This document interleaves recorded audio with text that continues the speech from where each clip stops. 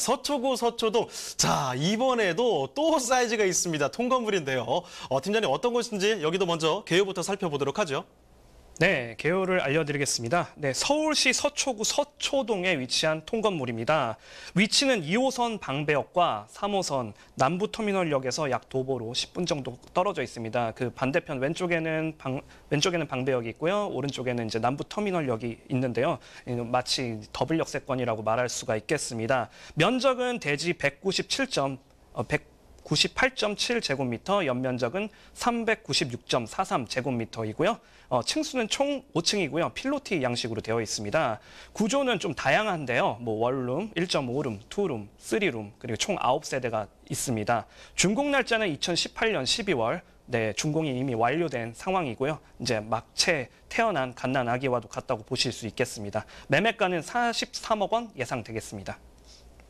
자, 이렇게 갓난아기와도 같다고 말씀을 해주셨는데 말씀 그대로죠. 아직 한 살이 되지가 않았어요. 지금 뭐 어, 지난해 12월에 준공이 됐으니까 따끈따끈한 이것도 신축이라고 보시면 되겠습니다. 자, 이 통건물의 모습도 어떤 모습이 그려질지 굉장히 궁금해지는데 건물 특징도 같이 살펴주실까요? 네, 그 강남권의 그 통건물이라고 하시면 많이 비싸고 뭐 투자금도 많이 들지 않을까? 내가 과연 강남의 건물주가 되지 않을까라는 그런 우려를 많이 가지고 계시, 가, 계셔서 뭐 포기하는 경향도 있으시고 하시는데 모든 물건이 다 그렇다고 보지는 않습니다. 관심을 갖고 찾아보면은 투자를 어, 해봄직한 만한 그런 투자처가 충분히 있는 것이 바로 강남 서초구, 아니, 서초구의 강, 서초동인데요. 어, 서초구 서초동의 이 통건물은 일단 1층에서 4층 의 원룸, two room, three room이 복합적으로 어, 이루어진 건물이라고 할 수 있겠습니다. 어, 전체 5층이라고 말씀드렸는데 5층은 그 복층형으로 이루어져 있습니다. two room, three room이 테라스가 있고요. 그다음에 island 구조의 그런 아, 그런 주방이 만들어져 있어 어, 넓어서 많이 인테리어로서 충분히 활용도가 높다라고 보시면 되겠습니다. 전체 그 룸에는 시스템 에어컨이 이미 갖춰져 있는 상황이고요. 뭐 최고급 자재도 사용하고 고급스러운 욕실과 주방의 인테리어가 어, 마치 그런 세입자나 뭐 이런 그런 들어오시는 입주하시는 분들로 하여금 더욱더 그런 수준 높은 그런 생활을 가능하게 하는 느낌이 나는 그런 집입니다. 또한 그 엘리베이터하고 무인 택배함이 있습니다. 무인 택배함으로 더욱더 편의성이 증가가 되겠고요. 그다음에 엘리베이터 보통 건물을 보시면은 없는 경우도 가끔 있어요. 다가구 통건물이라고 하면. 근데 해당 건물은 엘리베이터가 있기 때문에 5층임에도 좀 불편함이 없이 생활이 가능하시고요. 오히려 뭐 일조라든지 채광이 우수하기 때문에 그런 생활하는데 삶의 질이 올라갈 수 있는 구조라고 할 수 있겠습니다. 또한 그런 넉넉한 주차 공간이 만들어져 있습니다. 총 7대 주차 공간이 만들어져 있고요. 그렇기 때문에 약 그 한 세대당 한 대 정도는 차가 충분히 어, 충분히 주차가 가능하기 때문에 뭐 요새 그런 주차 같은 경우에 문제가 많잖아요. 주차의 문제도 많고 그런 자기 차 마이카 시대이기 때문에 이미 자기 차 한 대씩은 다 가지고 있기 때문에 많은 세입자분들이 그런 것에 대해서 많이 관심을 가지시는데 뭐 주차장도 이미 완비되어 있는 상황이기 때문에 문제없이 수요에 그런 선호도가 높을 것으로 예상이 됩니다. 네, 다양하게 들어가 있습니다. 원룸 있죠, 1.5룸 있죠, 투룸 있죠, 쓰리룸 있습니다. 그 중에서도 이 투룸과 쓰리룸 같은 경우에는 복층 구조로 이루어졌다고 합니다. 요즘에 뭐 복층 로망이잖아요. 이렇게 최고급의 자재, 최고급의 인테리어, 구조까지 들어가 있는 곳이 바로 이 통건물이다. 이런 말씀을 드릴 수 있을 텐데요. 자, 그럼 건물 잠시 벗어나서 이 주변을 한번 돌아보도록 하겠습니다. 자, 팀장님, 입지 여건 어떻습니까? 네, 입지 여건은 뭐 우수한 교통과 주거 환경이 보장된 서초구라고 말씀드릴 수 있겠습니다. 뭐 강남 3구죠. 강남 3구, 뭐 강남, 뭐 서초, 그다음에 뭐 송파 이렇게 일컫는데요. 뭐 강남구보다 항상 뭐 밀리는 건 아니지만은 그래도 강남구가 넘버 원이었으면 서초구는 넘버 투라고 그동안에 많은 분들이 인식을 가지실 수 있겠는데요. 지금 생활이 뭐 원래 생활 인프라가 우수하고 그다음에 직주 근접이 우수한 지역입니다. 거기다가 최근 활발하게 뭐 개발 사업이라든지 도시 재생 사업이 벌어져 있기 때문에 오히려 강남구에 필적할 수 있는 그런 지역이 바로 서초구라고 보면 되겠습니다. 그 자연환경도 좋고 공원도 가깝고 거기다 강남권도 가깝기 때문에 그만큼 서초동의 그런 미래 가치가 아주 높다고 볼 수 있겠는데요. 주변을 한번 보시면 일단 그런 방배역과 남부터미널역을 도보로 이용할 수 있다는 그런 점이 장점이기도 하고요. 그리고 뭐 주변에 뭐 방배 재개발, 재건축, 그다음에 뭐 대법원, 서, 대검찰청 등 그런 서초 법무단지로도 또 이루어져 있는 장점이 있습니다. 네, 그리고 또한 강남 업무 단지도 뭐 2호선을 이용하면 충분히 출퇴근이 가능하고요. 뭐 하다못해 뭐 버스, 뭐 자전거로도 충분히 이용 가능하다고 보면 되는데 아무튼 노선 같은 버스 노선 같은 게 잘 이루어져 있기 때문에 그만큼 안전하고 그다음에 아무래도 수, 어, 그런 주거 수준 환경이 높은 지역이다라고 말씀드릴 수 있겠습니다. 그리고 뭐 학군이면 학군이라고 말할 수, 우수하다고 말, 말씀드릴 수가 있습니다. 주변에 보시면은 뭐 서울고, 뭐 상문고, 뭐 신중초, 뭐 이렇게 뭐 초등학교, 중등학교, 뭐 고등학교 학군들이 있기 때문에 특히 강남 분들이나 서초에 계시는 분들은 자녀들의 교육에 대해서 항상 뭐 그렇게 관심을 깊게 가지시는 경향이 있기 때문에 그렇게 학군이 매우 중요하다. 그렇게 말씀드릴 수 있겠습니다.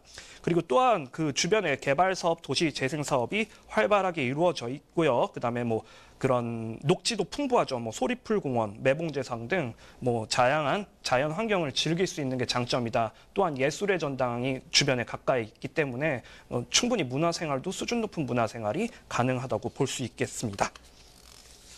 네, 서초 life 좋습니다. 어른들 일자리, 애들 학군, 우리 다 같이 산책 즐길 수 있을 만한 공원, 뭐 이런 녹지 공간까지 해서 다 있다는 거죠. 자, 이런 입지 여건들을 자세히 확인을 해드렸습니다.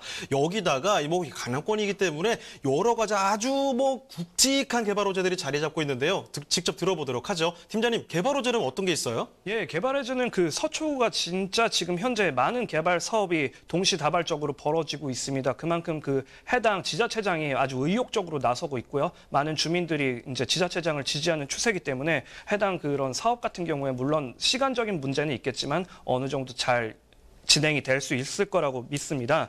그런 개발 호재는 일단은 먼저 주변에 보시면 방배 재개발 재건축 사업이 활발하게 벌어져 있고요. 뭐 이미 이주 수요가 발생한 경우도 있고 현재 뭐 그 전에 단계에 머문 사업도 있고 뭐 아직 진행이 초반 단계에 머문 사업도 있지만은 지금 많은 재개발 재건축 사업이 벌어지고 있습니다. 이런 분들은 보통 이제 재생 사업이 활발하게 벌어지면은 이주를 하게 되는데요. 보통 강남 아까 말씀드렸다시피 강남 서초구에 계시는 주민들은 그 지역을 벗어나려는 경향을 보이지 않습니다. 오히려 그 지역에 계속 머물려고 하는 경향이 강한데요. 아까 말씀드린 대로 자녀의 교육 교육 때문에 이제 그 위치에 있기 때문에 그 위치에 있고 싶어 하고요. 그다음에 직장이 가깝기 때문에 직주 근접에 아주 최요충지다라고 보시면 되고요. 그다음에 또 주민 커뮤니티가 있습니다. 그런 주민 커뮤니티가 잘 되어 있기 때문에 웬만하면은 다른 먼 지역보다는 그 서초에 있으면 서초 그 지역에 머물려는 경향이 강하기 때문에 그만큼 이주가 발생하게 되면은 오히려 배우 수요가 풍부해질 수 있기 때문에 많은 그런 투자 가치가 있다라고 보시면 되겠고요.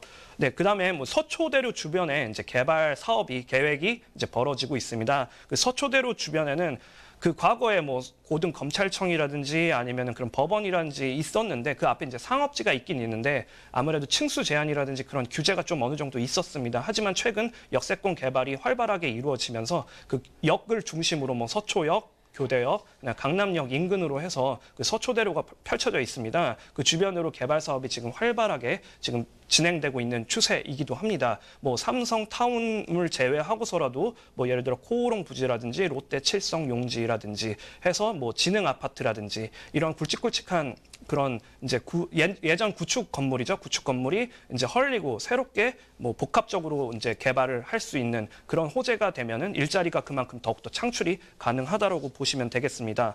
그리고 또한 양재 우면 RNCD 개발이 이루어져 있는데요. 이전에는 강남권의 일자리가 보통 주, 주로 강남구에 좀 몰려 있다고 하면요. 이 RNCD 센터는 이제 서초구에 있는 서초구를 중심적으로 보시는 그런 어, 개발 계획이라고 보면 되겠습니다.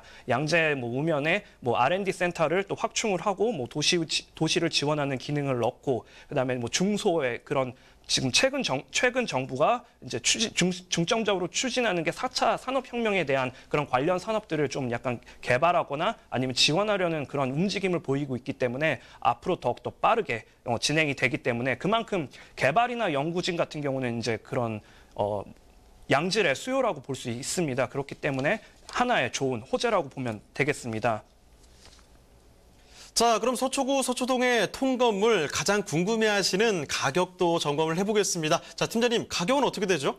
네, 가격은 그 강남구라고 하면 좀 많이 비싸다고 또 생각을 하시는 분들이 많은데요. 매매가는 43억 원의 예상이 되는데요. 어, 여기에 이제 두 가지 방법으로 이제 겨- 어, 진행을 할 수 있을 수 있겠습니다. 일단은 뭐 예를 들어 가지고 이제 투자적인 측면, 그러니까 뭐 시세 차익을 좀 가져가겠다 하는 측면으로 보시면은 어, 전세시로 전세 보증금으로 이제 그런 거를 이제 좀 약간 보완을 할 수- 하실 수 있겠는데요. 그러면 이제 36억 9천만 원이 임대가가 형성이 되고요. 따라서 실투자 6억 1천만 원이면은 서울 강남 그 서초구에 위치한 나의 건물의 건물주가 되실 수 있고요. 또한 이제 나이가 먹어가거나 아니면 그런 투- 수익 같은 임대 수익이 많아지는 거를 또 원하시면은 좀 더 이제 보증금보다는 월세, 임대 차임을 좀 높이셔서 그렇게 나가시면 되겠는데요. 30억 6천만 원으로 이제 임대 보증금을 맞추고 그러면 매달마다 410만 원의 임대 수익이 발생하게 됩니다. 그럼 실투자금은 12억 4천만 원이 들게 되겠습니다.